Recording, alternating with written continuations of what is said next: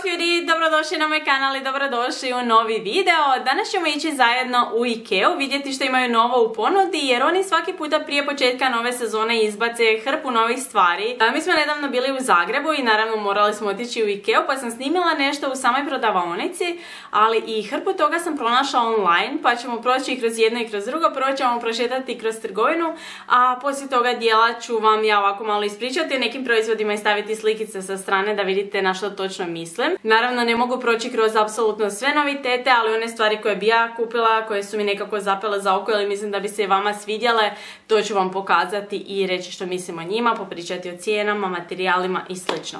Vi ćete mi naravno u komentarima reći kako vam se sviđa ovaj tip videa, ja obožavam gledati ove videa, ono što je novo u Ikea, Targetu i tako dalje, ovim američkim trgovinama, pa sam mislila da bi tako nešto moglo biti zanimljivo i kod nas. I ako imate možda na pameti neku drugu trgovinu za koju želite da napravim sličan video, obavezno mi pišite dolje. Kod nas u Osijeku se Meceta nedavno renovirala, proširili su, ima hrpa toga. Iako sad ne znam točno što je kod njih novo, što staro, ima jako puno vjerojatno toga novoga, ali ako bi eto željeli možda to ili jisk, isto sam vidjela da izbacuju neke novitete, sve u svemu pišite mi dolje u komentarima i ako vam se svidio ovaj video bacite like, pretplatite se na moj kanal i ništa, ajmo u Ikeu. I evo nas u izložbenom prostoru Ikea i prvo što mi je zapelo za oko je bila ova modularna sofa, e, izuzetno modernog izgleda i poprilično nepraktična s obzirom na ovaj vrlo nizak naslon. E, ako ćete eventualno tako što stavljati u svoj prostor, ako vam se super uklapa, u što uopće ne sumnjam, e, isprobajte ju prije jer nije baš udobna za sjedenje, za razliku od ove koja je jako, jako udobna i ovo je isto jedan od novih modela i sve linkove ovako kako pokazujem stvari vam stavljam dolje u opis ispod videa pa možete eventualno uh, kliknuti i vidjeti detalje, imena, cijene i slično. Još jedna stvar koja me je oduševila je bila ova fotelja zajedno sa ovim tabureom ili tip podnožnikom dolazi i u sivoj boji, onako baš od tkanine, ova je kožna i ako imate mjesta za ovako nešto, mislim da izgleda jako, jako efektno u prostoru. Uh, isprobala sam još i neke druge kutne i uglavnom su meni te Ikejne kutne i općenito kauči poprilično udobni, a Davidu se jako svidio zapravo ovaj tu setup, ova dnevna soba, zato što je bilo igračaka na svakom koraku, iako su sve poljepljene, pa je bio malo zbunjen. I ove košarice, odnosno ajmo reći vreće za igračke ili nešto slično su mi bile preslatke, ali iskreno cijena mi je bila malo too much za to što u biti to je i mene uvijek fascinira koliko daleko Ikea ide sa ovim svojim uh, uređenjima tih prostorija, znači baš me uvijek fasciniraju. Uh, tamo je bila kao neka slika ili ti, mislim da je kao neki ekran zaslon kao sa nekom zgradom u pozadini Baš mi je to bilo cool. I ovaj stolić je bio jako zanimljiv, međutim od gore izgleda lijepo, ali od dolje baš i... U principu jako mi je basic taj cijeli princip kako se on raširuje, zato što ove strane koje ga čine ovalnim se mogu sklopiti prema dolje i onda bude onako kao kvadrat. Ali da, uglavnom ovdje sam spazila i ovu crvenu klupčicu koja mi je bila simpatična i ovaj taburejić, ali malo kasnije sam uhvatila bolji kadar njega pa ću vam ga pokazati uh, u nastavku. Iduće što me oduševalo su ove košare koje su napravljene od umjetnog ratana ili ti od neke plastike debele i čini mi se da bi ovo bilo super, super izdrživo. Cijena im je malo veća, ali mislim da se to isplati jer su ovo košare koje ćete moći imati jako, jako dugo. Ja sam primijetila već na onim mojima koji su izrađene od prirodnih materijala koliko to god dobro je, um, da se s vremenom počnu raspadati. Jako mi se svidjela i ova crna komoda sa staklom. A ova tu kutna na kojoj je David skočio je zapravo ista kao naša, Vimle, ista je boja i sve.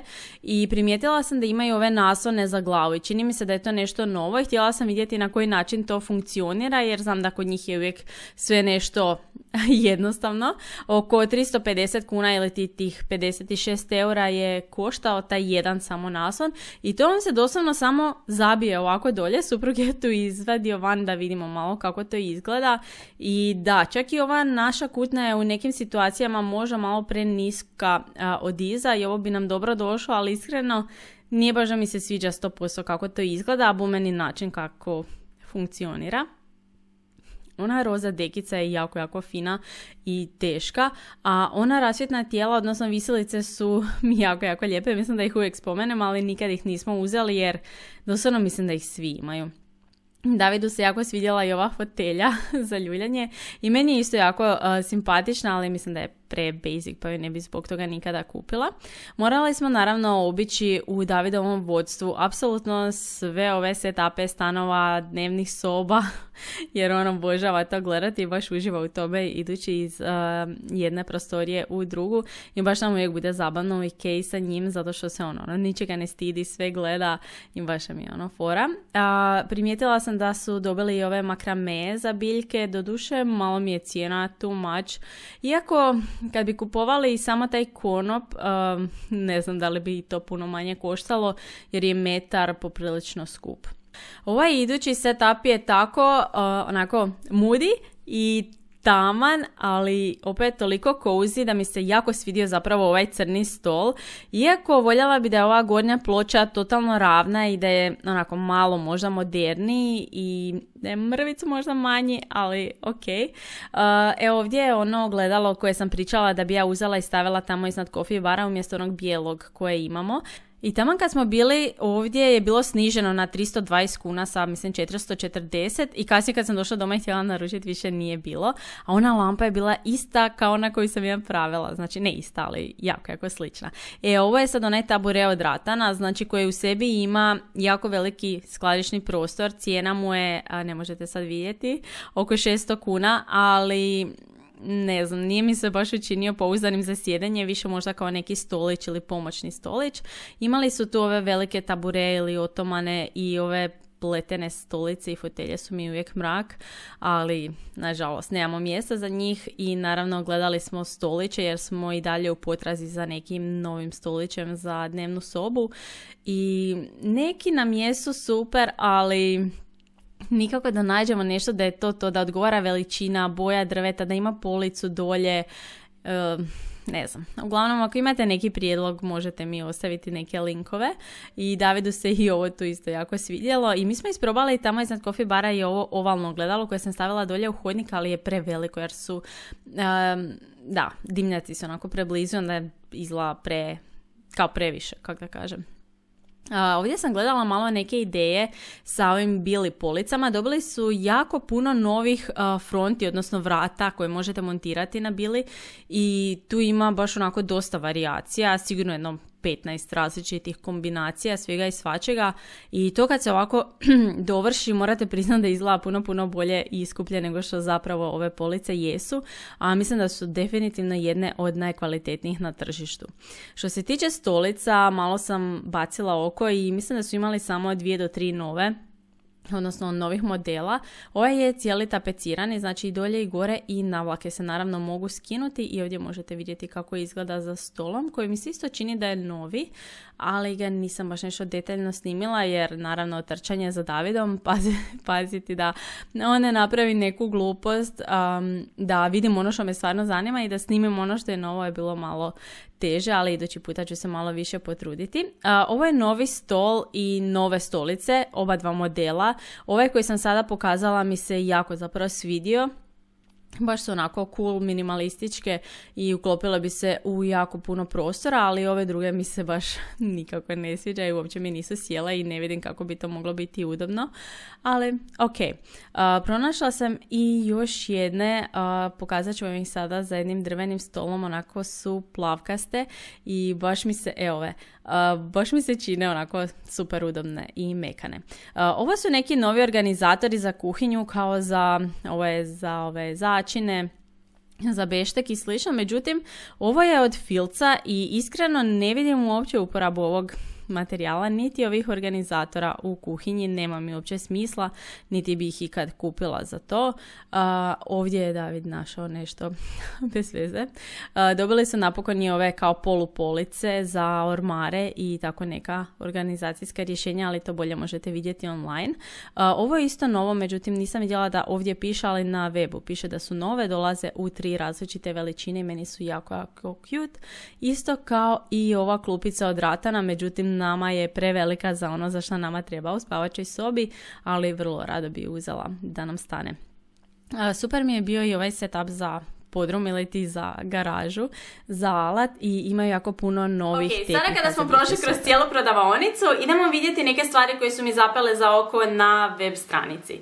Za početak imamo dvije vanjske garniture sjedeće. E, prva je drvena, ima dvije fotelje i jedan kao dvosjed koji mi se čini totalno nedovršen i fale mu kao ni rukohvati. Međutim, dolazi u dvije verzije od koje je jedna jako, jako povoljna, oko 3.500 kuna.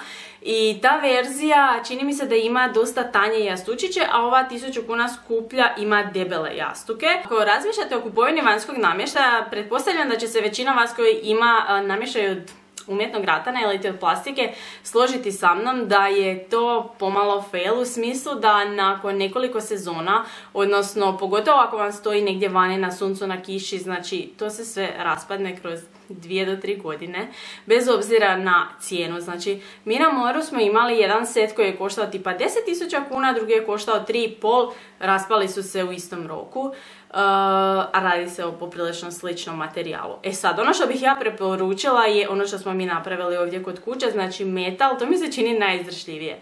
Drvo je isto solidna opcija i možda malo povoljnija, ali drvo se isto treba poprilično dobro održavati, ne smije stajati na raznim vremenskim uvjetima, inače se jako izloši. Ali ajde, opet imate ono neku mogućnost popravka ako se nešto i dogodi, međutim kod tog umjetnog ratana, pa čak i kod pravog mislim da nema, on jednom kad se krene kidati, to je to možete komplet sve baciti.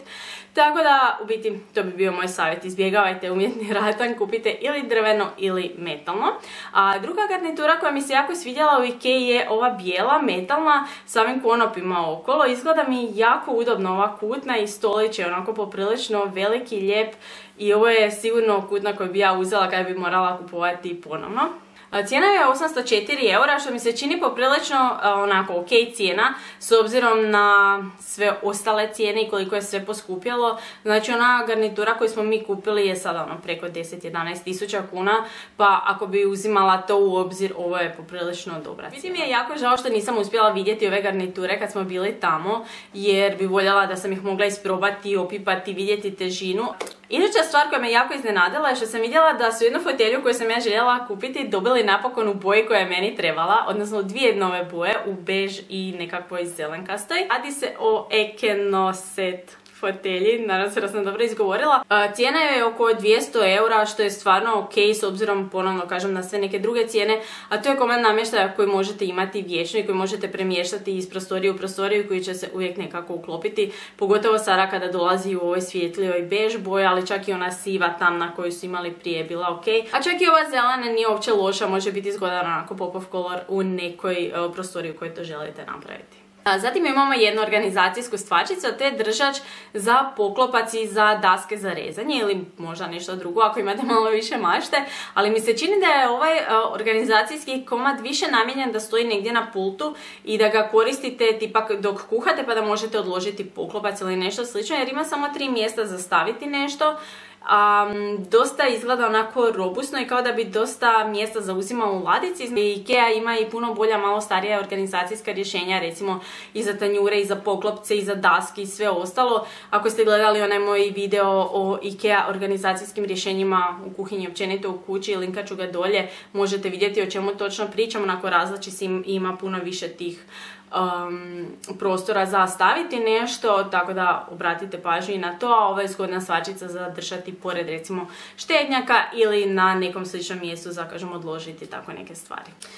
Cijena mu je 3 eura i 30 bijele boje i mislim da bi se uklopio u svaku kuhinju. Iduća dekorativna stvačica je zapravo vaza ili ti dvije različite jer dolaze u dvije različite veličine i takve su im i cijene. Jedna je nešto malo više od 13 eura, druga je malo više od 26 eura. Sam dizajn mi je fantastičan, tekstura i sve meni se jedino ne sviđa. Što, još da je ajde samo prozirna, ali ovo što se ovako presijava nije baš moj stil, ali ja bi to kupila i obojala sa onim sprejevima teksturiranim koji imitiraju kasnije kamen kad se osuši i mislim da bi to bio pun pogodak. Čak mi odlično izgledaju ovako zajedno, znači jedna manja i jedna veća. Ako imate neko mjesto, onako neku komodu ili nešto gdje bi ih mogli tako staviti, mislim da bi to izgledalo fantastično. Mogu pokušati izgovoriti ovo ime Rofel Björk ali stavit ću vam linkove na sve stvari o kojima pričam dolje jer kontam da pojme i što kažem nećete moći naći na njihovim stranicama. Ovo rasvjetno tijelo koje sada vidite je jako, jako popularno i iskreno u prostoru izgleda ogromno, ali su sada dobili manju verziju, biti to je novitet. I ne samo manju verziju koja izgleda jako simpatično i čak se može onako složiti i nekoliko njih u niz i to izgleda jako, jako lijepo, nego su dobili i ovu lampu, samo stojeću, odnosno podnu lampu, koja mi izgleda iskreno malo smiješno.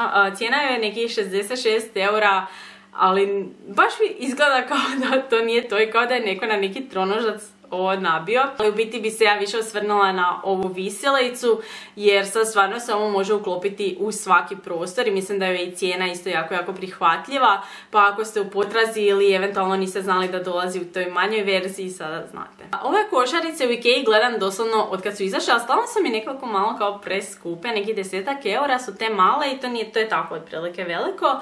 I imaju sada u ovoj novoj bež boji, sad stvarno onako se dvomim, odnosno da, ja to imam gdje staviti, možda bi i uzela, ali trenutno nemam i ne želim sad gumila bez veze neka ta organizacijska rješenja koja mi ne trebaju. Sve u svemu, kažem, ovo je nova boja, dođe još i u bijelo i svjetlo plavo i u većoj verziji, što bi moglo biti zgodno recimo za shopping, zadržati u autu ili tako nešto ako često idete gore dolje recimo da stavite na stepenice ili si ja recimo bi uzela tu košaru za stvari jer ja jako često recimo kad idem odavde dolje u ured ili gore nazad moram nositi hrpu toga, ne znam, od te moje elektronike, kamere, laptopa i slično, do nekih možda sitnica koje želim odnijeti dolje, pa mislim da bi ovako nešto bilo jako, jako zgodno, zato što nije baš pre, pre velika, ali taman da mi stanu eto te stvari koje sam sad spomenula. A, te košare se zovu Risatorp i ova veća košta nekih 17, malo više od 17 eura.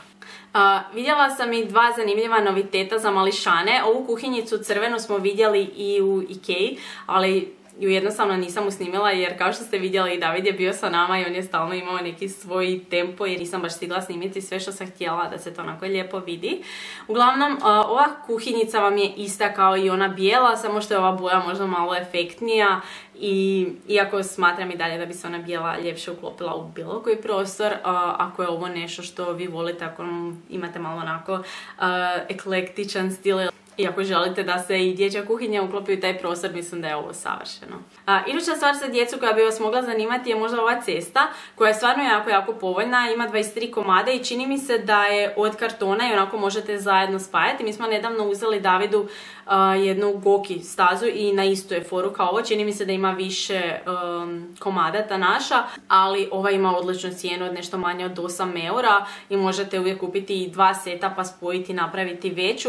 Iako meni se čini da recimo za Davida ovo što smo mi uzeli je malo too much i kad mu radimo uvijek napravimo manje, nikad ne iskoristimo sve. Ova iduća svačica je nešto što bi bilo jako, jako korisno, meni pogotovo i ovo moram kupiti. Ova cijena od tih nekih 6 eura je više nego pristupačna, a nikad dovoljno utješnica u kući, tako da ovo je iduće na listi za kupovinu. Vidjeli smo i ovu totalno novu liniju namještaja, zove se Idanos i čini mi se da onako neke srednje kvalitete za Ikeu. E, mislim, znam da su za Ikeu jako podijeljena mišljenja vezano za općenito kvalitetu i da svi ono ili svrstavaju kao da je Ikea super ili da je Ikea šrot, doslovno. Međutim, ako ste malo bolje, mrvicu bolje upoznati zapravo sa njihovim asortimanom, vjerojatno ste primijetili da oni imaju razne cjenovne rangove. E, u Ikea možete kupiti doslovno šrot proizvod koji će vas zapravo jako, jako dobro služiti za cijenu koju ćete platiti za njega, do jako, jako dobrih proizvoda izrađenih od pravog drva. E, zapravo bih ja rekla da u Što se namještaja barem tiče, znači cijena i kvaliteta idu ruku pod ruku, znači ono što platite manje slabije kvalitete, ono što platite više je veće kvalitete. I upravo mi se čini, kažem, da je ova komoda i sve iz te linije, baš te neke, ajmo reći, srednje kvalitete, neka srednja klasa. napravljeno je nešto od drveta, doduše malo tanjeg, nema sad ono stopere, nije sad ono teško i robusno, ali će vas sigurno služiti godinama. I što je najbolje od svega, ova konkretna komoda, mislim da nam se dimenzijama baš super uklapati za ispod kofi bara, ali još uvijek nismo ništa odlučili jer mnogo toga. A ako želite nešto povoljnije, nešto privremeno, nešto možda za neki stan koji iznajmljujete, e, zgodna je ova nova linija, zove se Screwby. Ako sam ja dobro izgovorila, znači sam sam morala proslovkati ovo riječ. Dolazi u dvije boje, ova tamno plava i bijela i osobno mislim da se ova bijela može uklopiti u više prostora, ali isto tako je super i ova plava. Možete ju iskoristiti čak i za dječje sobe, meni se odmah učinilo da bi bilo super onako kao neko skladište za igračke, jedan dio recimo za košare u koje ćete spremiti igračke, a ovaj drugi dio bi bio super možda za izložiti igračke prema onoj Montessori metodi. Cijena ovog cijelog seta je 185 eura, što mislim da je super za ovu veličinu. Za ovo mi je jako, jako žao što nisam uspjela vidjeti uživo, ali na stranici ovdje izgleda fantastično. To je ova ogromna korpa za veš od 100 litara. Ima unutra dva ili ti, ajmo reći možda i tri, pošto ima jedan još mali džepić, različita pretinca od ratana. Može se ova bijela vreća iznutra izvaditi, ima poklopac, može se sklopiti za transport i ja sam oduševljena cijena je 60 eura jednog dana ako stvarno budemo renovirali kupatilo uh, moramo ovo kupiti jer mislim da će se super uklopiti. Kako sam ja stalno u potrazi za novim stolićem ovdje za dnevnu sobu i voljela bi da bude okrugli, našla sam u Ikea dva koja su mi se poprilično jako svidjela, ali je jedan možda preveliki, nije nov pa ga neću sad pokazat, ali ovaj drugi je potencijalno moguće da uzmemo. Jedino što nijedna od ovih boja mi se ne uklapa. Ovaj jedan je previše svijetao, a drugi je previše taman. I ako bi eventualno uzeli za ovdje neku tamniju komodu, možda bi onda to se nekako povezalo, ali nisam baš 100% sigurna u to. Radi se o hrastovom furniru, barem kod ovog svjetlijeg i nisam sigurna da li bi se on mogao obojati, barem da bude recimo istoj nijansi kao i ona fotelja iz Zare. To ćemo još morat malo promisliti. Idemo sad ponovno početkom trećeg mjeseca u Zagreb pa ćemo otići vidjeti i možda ga i uzmemo. Nisam baš sigurna 100% ni u sam stil, ali sviđa mi se veličina, sviđa mi se što je okrugao i što ima ispod ovu još jednu policu. Ovaj mali mope ladičar je odličan za nekakve sitnice tipa make-up. Vidjeli ste kod mene na stolu prije kad sam imala malo veću kolekciju da sam imala takva dva. Doduše moji su bili iz Bauhausa, ali to vam je poprilično ista stvar. Sad su mi dolje u uredu i služe mi za neke sitnice vezano za DIY i vjerujem da ćete i sami naći još hrpu namjena za ovako nešto. Cijena mu je nekih 18,5 eura što je čisto prihvatljivo i vidjela sam da čak neki rade i neke DIY projektiće u smislu da naprave noćni ormarić ili nešto slično. I od toga i od ovog drugog što imaju kad pogledate dolje na linku koji ću vam staviti ima još jedan model, ja taj imam na moru. Međutim, nešto mi malo šteka, ne će se baš te larice tako fino i lijepo kako su se recimo na onom iz Bauhausa. Nadam se da to nije slučaj i sa ovim. I ja sad nisam sigurna da li su oni u Ikea imali ovaj model ili ne. Čini mi se da su imali samo ovaj drugi, a da je ovo novo jer i piše da je novo. Tako da ako ste ikada htjeli takav vladičar, sad vam je prilika da si ga naručite ili ako ste u blizini Ikea da odete po njega. I posljednja stvar je ova predivna moderna fotelja koja dolazi u tri različite boje. Znači imamo ovu tamnu, imamo svjetlo sivu i crvenu koja mislim da bi super podigla svaki prostor.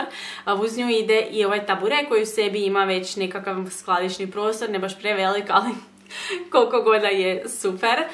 Čini se jako, jako udobna, onako izgleda moderno, robusno. I ako imate mjesta za ovako nešto, mislim da bi se jako, jako dobro uklopilo. Samo što mislim da njoj treba, kažem, dosta onako prostora i okolo da bi ona bila nekako u centru. Cijena joj je oko 420 eura, što nije baš ni malo, ali opet za takav tip fotelje i još uz nju dobijete i tabure, mislim da čak i nije Ništa ljudi, došli smo do kraja današnjeg videa. Vjerujem da ste mi već do sada ostavili nekakav feedback dolje. Ako jeste, puno vam hvala, hvala vam i ako ste ostali do kraja ovog videa, naravno, a mi se vidimo uskoro u nekom novom. Ćao!